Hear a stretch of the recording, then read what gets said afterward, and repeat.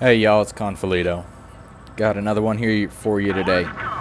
This is going to be me and my T28 HTC. Now, I haven't been having very much luck in this tank, but I decided to pull it out, give it another run, and see what we could do. Because everybody says they have such a good time in it, and I thought I'd give it a go. Now today I kind of wanted to talk about not necessarily playing the type of tank you are, but playing the type of tank you need to be. So as you can see, I'm rolling up here to A because I see that those mediums are rolling out to the ruins and that nobody is coming up here to cap A. Now on Supremacy, this is a pretty easy base to capture and you can see that they have already got B, so we need to make sure that we get some cap points or else if it comes down to the wire, we're going to lose it. Now I'm just poking around here a little bit, just trying to see if I can spot anybody. Now that KV-1S pops up, and I'm really hoping that he's going to roll up over that hill, and I try and zoom in, get one right into his upper plate. Now, as I'm going right through here, you can see I'm really turning the tank, trying to use that gun arc. That's really the specialty of this tank, is that gun arc. And as you can see, that red, the red bottom arrow way up in the sky, gun depression is not what it has. I'm able to get one more shot into him, nice roll of 322. Now, we need to finish him off. He's a big gun that we can take right out of the, right out. Now, you can see there, that gun depression is horrible. Now this KV2 is kind of blocking me because I'm trying to angle this and turn this just so that they can only see the front of my tank. Because for those little guns, it's going to be impenetrable.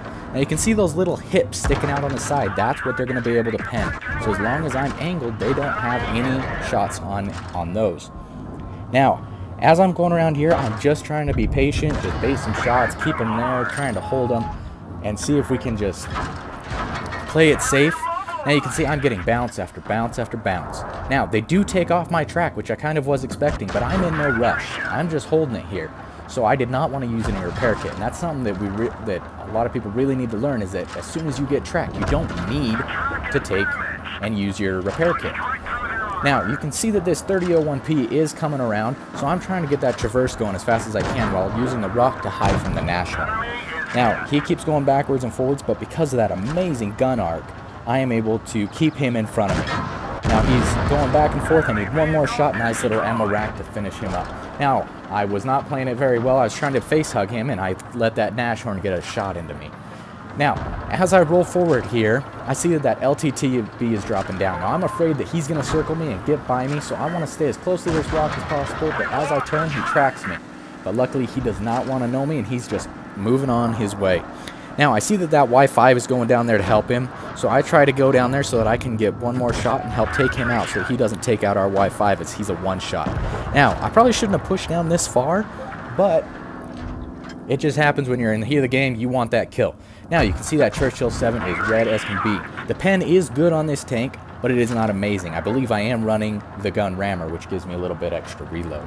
So, as I keep trying to zoom in, you can see that the dispersion can be quite large and it is not meant for sniping, even though it's a TD. So you can play this tank quite aggressively as long as you play it right and you have something to poke around, like a building or a rock, so that you can just hide those hips that are poking out. Now, I remember where that Nashorn is and I know that I can get some juicy HE into him. So as I start moving across here, I have been playing this game like a medium tank, not necessarily like a TD. I went up, I spotted, I got a cap boy, and now I'm booking it across the map, given it's only at 30 kilometers an hour, but where are my mediums?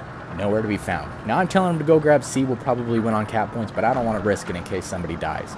So as I start pushing up here, I'm looking around trying to find that Nashorn, and I see him, and he goes down into the river. But I do not have the gun depression, you can see. And just as I come over, I'm able to get a nice good roll into him, a 419, now, he was going to shoot me. There's not a whole lot I could do. I tried to do a little bit of wiggling. I get one more shot trying to go for a ram to finish him up, and we just can't get it.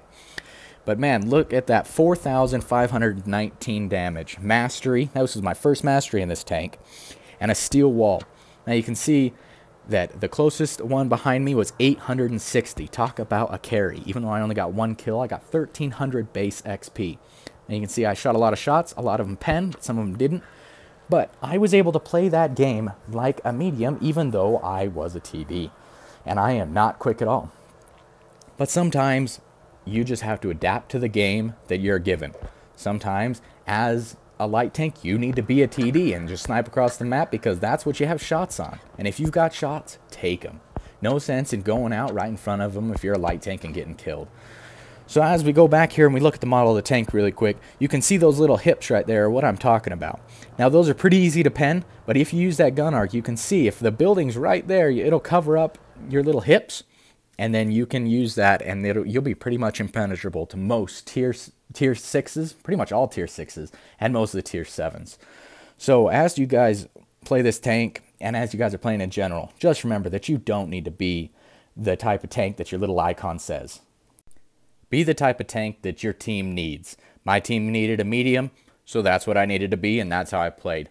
Anyways, thanks for watching, y'all, and we'll see you in the next one.